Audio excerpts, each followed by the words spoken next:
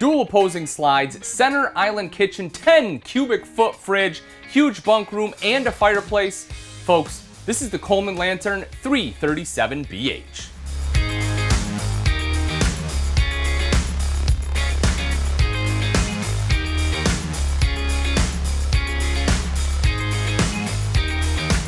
All right, folks, and for this one, we're gonna start off on one of the most impressive parts of the 337BH, which is the kitchen. If you're looking for a bunk model, but you want a lot of prep space, you want a lot of cook space because you like to cook while you camp, then this is one you have to pay attention to. Look at all the countertop space I have in this travel trailer. It is massive. And of course, part of that is due to the fact we have an island, which is something that's a little bit tougher to get in a bunk model. And of course, the big advantage of an island is the prep space as well as all the storage underneath. You can see this huge bank of drawers here, plus some more storage for pots and pans underneath that beautiful stainless steel apron front sink. And of course, this sink is undermounted thanks to the style of countertops we have. You'll see that this is a like a, a thermofoil countertop, so it's an upgraded countertop, uh, better than a T-mold and lighter weight than a true solid surface, but it still allows you to undermount the sink, which not only looks nicer, but of course is just better for general cleanings. You can just wipe everything into the sink just like that. High-rise faucet there also makes it a little bit easier to wash and rinse dishes. Now, we'll get to the rest of the countertop space in just a moment, but first I want to hit on this because this is a new addition for 2021 as well, and that is the upgraded GE stainless steel 10 cubic foot 12 volt refrigerator. And as you can see, you have a ton of space in here, a lot bigger than standard, right? A lot of times years ago, you know, you would get somewhere between like a six cubic foot, sometimes a seven, if you were really lucky, an eight. Uh, but now in a, a travel trailer, they're giving you a 10 cubic foot uh, 12 volt refrigerator. The thing I like about 12 volt is that it runs off the battery. So if you plan on doing some boondocking, if you have two batteries and enough solar power, you can run this almost indefinitely because it is a very low power drain, which is great. Otherwise, if you have shore power, plug it in, of course, you're good to go all day long. Uh, nice easy travel lock there too, I will add. But coming over to the side, so this is the rest of, or not the rest, but the majority of the rest of our uh, prep space, right? So if you're not prepping on the center island, you have all this space right here. It also gives you a spot if you want like a coffee maker or margarita maker, something right there in the corner, you can do it. Some USB ports to plug in electronics. Nice big window to let in natural light. This window does open too, which I like. A lot of times the windows in a kitchen won't open. The thing I like about this is if you're cooking something here, now don't get me wrong, uh, I've got called out on this before. I love the smell of bacon. My wife loves the smell of bacon. However, after it sits there and the smell sits in your camper for five, six hours, just starts to smell a little bit like grease. So having the window right there as you're cooking just kind of help uh, get some of those smells out. I love the fact that that does open. And again, as I mentioned, huge countertop space. Plus you get the extra prep space here with the recessed cooktop because it does have a glass cover. This simply folds up and back just like that. Kind of leans right against this backsplash. A new backsplash for this year too, I, I might add. Uh, you know, kind of a simple look. Looks uh, fairly easy to clean there as well. Three burner cooktop, the front one of course being high output. The knobs do light up if you're into the blue light look.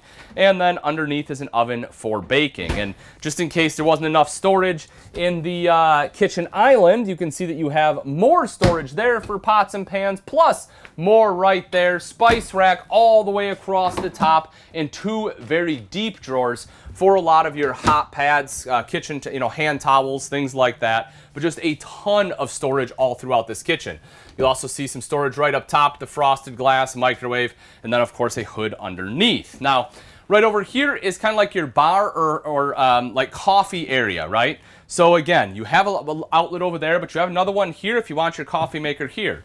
Personally, I like to uh, imbibe a little bit when I go camping. So, you know, this would probably be my liquor bar, right? I line it up right here. I have my rocks glasses up here, maybe, you know, some more uh, high shelf stuff up there, something like that. But obviously, you know, this can be just great storage or you can put some knickknacks there, some decor, whatever you want to do to make it yours, but it is a great additional space. And then again, just because, you know, why not have more storage? We have more storage right underneath there. So for me, folks, this I think they absolutely nailed it with the kitchen in the 337. Just a ton of space all throughout here, both countertop space as well as storage space. Now, we'll get to this in just a moment, but first, I want to come on back and check out the bunk room. So as we take a step in the back, uh, a couple things that uh, I really like about this one, and one of them is right over to this side. So you have the top bunk, 150 pound weight capacity on here, so you're probably not going to fit most adults up there, but it's great for the kiddos. More importantly for me though is underneath the fact that you have a dinette. And I really like having these in bunk models because it does give the kids another place to sit down. They can put a puzzle together, they can have a meal right back here. Um, you know, if they want to draw, they can do something besides stare at a TV while they're inside, which I always try to promote anytime I can. If, you know, it is a rainy day and you want them to play on a tablet, something like that, you do have USB ports there. You'll have that uh, USB access basically in all the beds. Uh, of course, a LED light over there. If you take a look over the other side again, you see the USB port there, a window up top too. Now, if there is one area I think they failed, and this is very minor, and honestly, it could be because the time I am making this video, the state the industry is in. I know a lot of manufacturers are struggling to get supplies, so maybe that's why the situation is what it is. But as you will see, the, the mattress is oversized. It, it, it doesn't fit uh, down in there, and you can see that it is all the way up against the wall. So uh, for me, you know, that's if I had to say there was a fail to this uh, this layout, this RV, this is probably it for me. Very minor thing. It's still obviously very usable. It's just, um, you know, I guess my OCD, this just bugs me a little bit that it overhangs. But moving on. You will see this one has the built-in ladder, so it does make it nice and easy to climb up into here. You have storage shelves all the way behind. Uh, area right there if you want a TV in here. Again, some drawers, so you have spots for the kids to put their underwear, their socks, all that good stuff. And then right over to the side, you have a spot to be able to, to hang kids' clothes up. So I love that you do have spots for kids' clothes because oftentimes that is an issue in the bunk room um, where you know you just don't have the storage. Also, you have the window in the back, uh, heat vent right down here, electrical outlet. It's also worth noting you have electrical outlets on the sides of the, um, the island there too. So let's talk about the super slide a second. So of course the super slide really helps open up this main living space. Um, you know, when we're done, I, I, will close the slide up so you can take a look in here. Now, I, I can tell you right now, uh, you know, it is going to shut some things off, like the refrigerator, just not be able to get there. Uh, you know, probably the bathroom as well, so it's not going to be one that's great for traveling if you need to uh, access some different areas, but we'll get to that in a moment. Uh, the Super Slide has the U-shaped dinette as well as the jackknife sofa. Now, um, with the, with the U-shaped dinette, I'll take a seat in here. And you can see, of course, the great thing about this is I can easily sit three to four people here. Everyone can sit around. You know, you can drop the table down into a sleeping space where this can easily sleep to adults. And that part I really like. Now, one of the things that Coleman does, and uh, I've asked this before, and you know, I, I really love feedback. So let me know in the comment section what your thoughts are. So as this one stands right now, it is a U-shaped dinette. However, what you can do is you can remove these two cushions. This right here, this center section lifts up and out and then you will see another peg back there. And what happens is the table will then spin, and instead of having a U-shaped dinette, you have a standard dinette. Um, I guess let me know what your guys' thoughts are. Would you do you see yourself using the standard dinette? Would you keep it as a U-shaped dinette? Do you find value in being able to switch back and forth?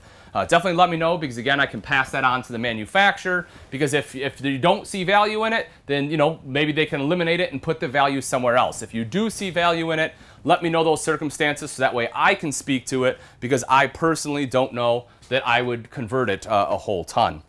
Right over to this side is the, the jackknife sofa. Now, great thing about a jackknife, of course, is obviously the sofa itself gives you a spot to sit but a jackknife gives you lots of storage underneath. And the great thing about the Coleman is this right here. This just drops down, it's magnetic, so it's nice and easy to put back up. Makes it very easy to access things underneath there. What I have seen some people do is they will actually put totes in here that you can slide in and out. So it makes uh, some of those uh, you know smaller items, it gives you good storage spots for them and you can access them easier.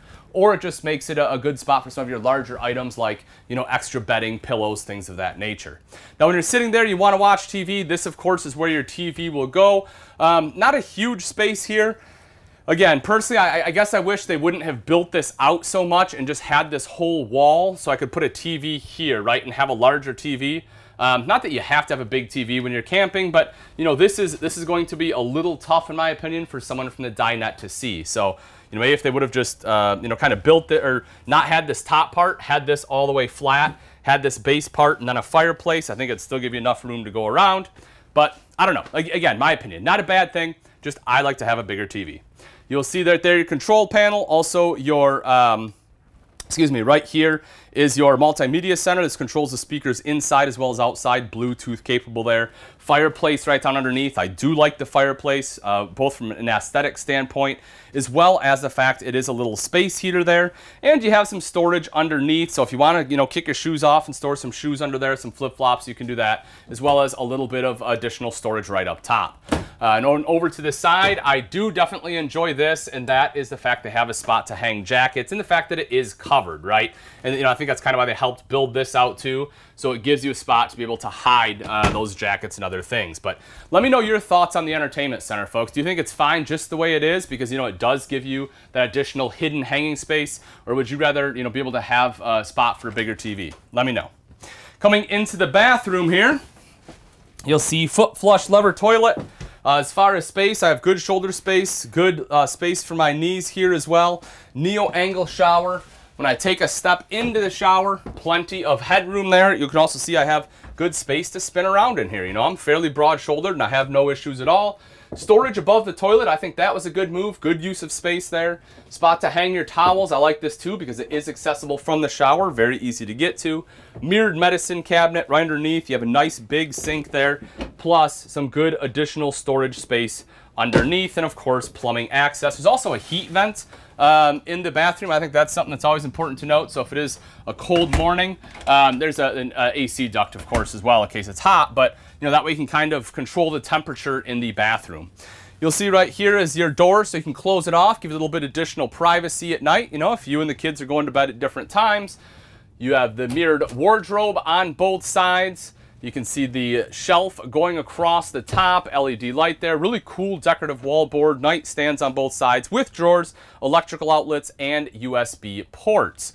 Uh, last couple things I do want to mention. One is right up top here. You'll see that you have a vent. More importantly, this is prepped for a second AC. So if you want a second AC in here, this one's 50 amp. You can have it installed. And then over on the far wall is a spot where you can mount an additional TV. Now that we've seen the insides, take a look at the outside of the 2021 Coleman Lantern 337BH. Right up front is a power tongue jack, and this of course makes it much easier to connect and disconnect from your tow vehicle because rather than having to crank it up and down, you simply flip a rocker switch. Plus, there's a light for added visibility at night and a manual override in the rare event the motor fails so you're not stuck at the campsite. Right behind that, two 20-pound propane tanks. You'll see rails here for your battery. And then tucked away right over there is solar prep. So if you want solar, all you have to do is just buy the portable panels, plug it in right there. Everything's already pre-wired, and that will start to trickle charge your battery. Coming right up the front is the diamond etch plating, help to protect that front end from some of the rocks and debris that may get thrown up by your tow vehicle. And again, folks, with that solar, as I said, if you, you know, with that 12 volt fridge, if you plan on doing some boondocking, just pick yourself up another battery, get like, you know, a 150, 200 watt solar panel, plug it in right there, good to go. If we take a look inside, you will see the nice big open pass-through storage space. It's one of the great things about the Coleman Lantern. Uh, a couple things on almost all Coleman Lanterns. One of them is they have big pass-through storage. Another is big freshwater holding tanks. You're looking at a 60-gallon fresh tank on here. But uh, with this, unit can fit some of those bigger chairs, grills, things like that in the storage area. And as I was talking about, your freshwater inlet's right there, big 60-gallon tank. This one also has um, your power stabilizer jack prep. So one of the things more manufacturers have been doing is trying to give you options. If you want the prep or if you want the, the power stabilizer jacks, great. You can have it added on there. All the wiring and everything's already pre-wired. Boom, simple and easy. If you don't want it, then not a problem. You can keep what you have right there and save yourself a little bit of money. Right up top is a power awning with LED light. Touch a button to roll it out. Same thing to go back in. You'll see a couple speakers right underneath that so you can listen to some music out here. Those, of course, are tied to that multimedia center inside. And then right down underneath, you'll see black tank flush to quickly and easily wash out the black tank. You'll notice this, of course, your electrical outlet in case you need to plug anything in out here, and a campsite outside shower with hot and cold water access. This is something that's a little more rare. Usually it's on the off-camp side, sometimes on the back of the RV, but this makes it great because what you can do is if you come back from the beach, boom, you can wash your feet off right here, dry them off before heading inside. You need to wash the dog, you can do that too, or maybe you just need to, or you want to do dishes out here because you just had a meal, you can fill up a water basin with hot water right there without having to go inside. Your entryway, you will see, has your solid steps by LCI. And just the name implies, folks, very solid. I'm over 200 pounds, gaining more weight every day, it seems, lately. Uh, but it does, uh, it is nice and solid to go in and out. You know, you don't see the steps flex. Aluminum treads on there so they won't rust, plus the grip tape. And of course, you have adjustable feet as well. Making our way to the back here big outside kitchen space. I, I, really like when manufacturers do this. Um, you know, this is for me one of the big selling points of having a bunk model is having the big outside kitchen and especially this. You get the larger refrigerator and you know, I'm gonna fill that bad boy with a bunch of beverages and I'm gonna enjoy them right here outside. So I love having the taller one. Additional storage right there. As I mentioned inside, I like to imbibe a little bit. If I want to uh, have some of that outside, I can fit some of my, uh, you know, fifths right up there too, or maybe just want to put cups, plates, whatever else up there, you can do that as well. Good prep space here and electrical outlet. So if you want to put like an electric griddle or a toaster out here for breakfast, you can do that too. You'll also see a drawer, so you have a spot for flatware, another one right over on the other side. So a couple different drawers. Of course, you have the sink in the middle and propane quick connect right there. If you want to do some grilling, it does have the arm mount, flips up and around just like that. You can put the grill on it, plug it into that propane quick connect, and you're grilling in no time. Or if you have your own grill already when you buy this camper, you can of course use your own too, but the fact it comes with the grill and the arm is just uh, an extra bonus there. City water inlet will be located right back here. Uh, the only thing I guess I don't like about this is sometimes like my hose, um, you know, because I, I don't always replace my hoses. So sometimes it'll squirt out a little bit. And you know, with the grill right there, I might get the grill wet, have to swing that out and around. Super minor thing, right? Just, Ian, just replace your portable water hose. I know, I need to. But that's where the city water uh, inlet is located. Right up top is your backup camera prep. So that way, if you want a backup camera, having the prep makes it a lot easier to install, meaning it'll save you money on labor. Cable inlet will be right in the back. 50 amp power supply here uh, on the back side. So that's where you'll plug your 50 amp into. 50 amp, of course, because this one had the fireplace as well as the second AC prep. If we drop down real quick, last thing I want to show you is this right here. So you will see that you have two different terminations. You'll have this one located right in front of the slide, and if you look in the very back behind the rear axle, you can see there's a second termination right back there. All right, folks, and that wraps it up. Again, this is the 2021 Coleman Lantern 337BH. If you're interested in this wonderful family RV and you would like price and availability, simply click on the link in the description. Also in the comments section, let me know what you think they nailed, what they failed, and if you were designing this RV, what you would change. Thanks again for watching, folks. I'm Ian Baker, and let's go camping.